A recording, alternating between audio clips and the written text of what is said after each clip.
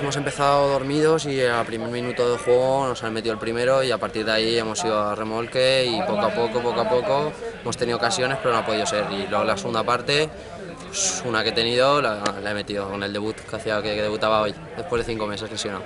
El entrenador no cree que esté al 100% aún y me ha dicho que, que 20 minutos y que poquito a poco. Punto sabe, porque no teníamos nada, pero bueno, más vale un punto que, que no llevarnos nada de aquí, que esto es un campo difícil y aquí van a sufrir muchos equipos. Fuera hay que salir a ganar, pero si no se puede, por lo menos empatar y llevarnos algo positivo.